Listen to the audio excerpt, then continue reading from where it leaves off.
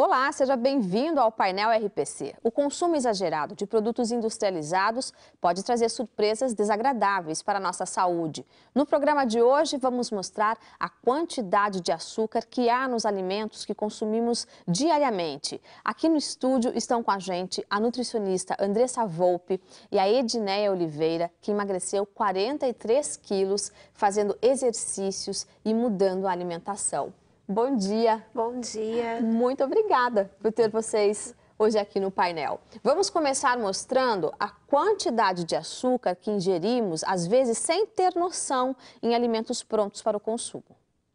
Você normalmente oferece açúcar para os seus filhos e você teria coragem de dar essa quantidade de açúcar todos os meses para ele? Isso se você considerar que você está oferecendo o que, Helena? Mostra pra gente, por favor. Um achocolatado por dia. É o suficiente para no final do mês ter todo esse consumo de açúcar. Já encheu o prato, não consigo colocar mais. É, não vai mais. colocar mais porque realmente aí tem praticamente 900 gramas de açúcar. E será que tem uma opção mais saudável para essa substituição? Toda mãe tem essa dúvida, né? Então aqui vamos comparar dois produtos que são tradicionalmente adicionados àquele leite da criança. Se a gente for comparar os dois aqui, esse daqui eu levaria. Por quê? Porque a gente tem bem menos carboidrato, absurdamente menos sódio e uma quantidade excelente de fibras. Então, assim, aqui se eu estou fazendo uma seleção e fibra é uma coisa importante para o intestino do meu filho funcionar bem, e eu sei que ele não vai comer tantas verduras agora no frio, então por que, que eu não posso levar um alimento com mais fibra? Essa fibra melhora o funcionamento intestinal e ela também reduz a absorção dos carboidratos no intestino. Então isso é uma coisa bem importante. Andressa, às vezes as substituições não são fáceis porque no dia a dia quanto mais rápido de se fazer, com a rotina melhor, né? Agora, essa quantidade de açúcar que nós consumimos sem perceber, ela pode trazer que consequências, tanto para a nossa saúde como das crianças, esse hábito? Especialmente para as crianças, pensando nas crianças, a gente tem que pensar que elas estão numa fase de começar a criar o hábito alimentar delas. Então, se a gente oferece alimentos ricos em açúcar nessa fase né, da vida, a gente está induzindo a ser um adulto que consuma muito açúcar e com isso venha ter um excesso de peso ou alguma doença como diabetes que é relacionada ao consumo do carboidrato, né? Edneia, você perdeu 43 quilos. Por que, que você decidiu emagrecer? O que, que foi assim o que realmente te tocou mais? Falou, agora eu vou perder isso aqui. Bom, é, é, horrível você chegar numa loja, gostar de uma roupa e aquela roupa não entrar em você. Aí saúde, joelho, falta de ar, tudo assim que eu não estava acostumada porque eu não era gordinha. Eu engordei na gravidez, mantive, engordei depois. Meu filho nasceu e eu continuei com esse peso por dois anos. Você engordou quantos quilos na sua gestação? Na gestação engordei 40. Você engordou 40? 40 quilos. E mantive após o nascimento dele. Então, esses quilos eu não perdi, né, após o nascimento, eu mantive esse peso. Então... E por que você acha que você, você ganhou tanto peso na gestação? Olha, eu comi uma barra de chocolate todo dia. Você teve uma gestação, você foi uma, uma gestante ansiosa? Fui, bastante. Além de, claro, né, de mudar mesmo e sedentária. a alimentação, né? Pior, ansiosa e sedentária. Hoje você está com 27 anos. Em, ao longo de quanto tempo que você perdeu esses 43 quilos? Nos dois primeiros anos que eu decidi emagrecer. No primeiro ano eu perdi 26 quilos. E após eu fui emagrecendo, emagrecendo. E ainda tenho uma meta aí até o final do ano de perder 10 quilos. E vou... Você, fita métrica hoje te incomoda? Não, não me assusta não tanto quanto antes. Você lembra quanto, levante aqui para a gente mostrar, você lembra quanto você tinha de cintura quando você estava 40 quilos a mais, 43 quilos a mais? 110, 110. Então levante aqui o casaco para a gente, vamos mostrar aqui. Ó. Hoje, Andressa, você está com, se dá para ver ali, 84 centímetros de cintura. Você, você falou que você chegou a ter 110 Isso. centímetros de cintura. Isso aqui é mais, ó. Isso aqui é mais. Eu vou mostrar aqui na fita métrica.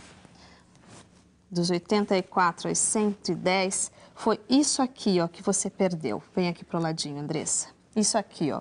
você tinha a mais antes Muita. de perder esse peso. A tua relação com o açúcar era como? Uma barra de chocolate por dia e Uma hoje? barra de chocolate por dia. E eu gosto muito de doce. Muito. Continua gostando de doce? Continuo, mas hoje eu sei comer moderadamente. Come doce todo dia?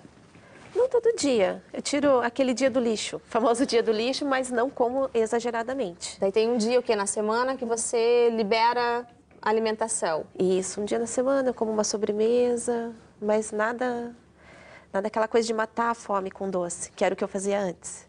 E como, como que se muda esse hábito? Quando a pessoa tem o paladar que, que gosta mais de doce, Andressa, como melhorar isso? Porque não deve ter sido fácil, né, Edneia? Não. A um gente vê isso principalmente nas mulheres. É muito comum, assim, é, as mulheres sentem essa necessidade de, de comer doce, isso é bem comportamental. E a gente tem que trabalhar com algumas substituições, né? É, quando a pessoa entra num processo de perda de peso, ela tem que ter a consciência, né, de que ela não vai poder comer uma barra de chocolate por dia, Vai- que ela é um esforço. é um esforço. E às vezes ela olhar de repente para um pudim diet ou alguma sobremesa adaptada e falar: "Ah, esse vai ser o meu doce e ter a força de vontade e a disposição de encarar aquilo. Olha, no preparo dos alimentos, além do açúcar, o sal é visto como um grande vilão na alimentação. A nutróloga Débora Fuertner fez um alerta para um outro aditivo alimentar, que é um aromatizante muito comum em temperos prontos, tão perigoso quanto o excesso de sal.